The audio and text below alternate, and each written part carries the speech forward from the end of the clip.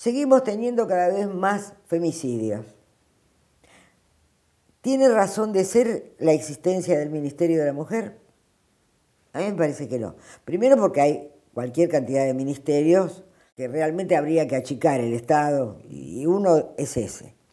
Después que el tema del femicidio no lo resuelve el Ministerio de la Mujer, lo resuelve la justicia, la seguridad, eh, eh, los temas de salud mental, o sea, una interacción entre varios ministerios donde la mujer puede estar mirando si verdaderamente las áreas de competencia están actuando, pero eso puede estar en todos los ministerios, una mirada femenina sobre cualquier ministerio.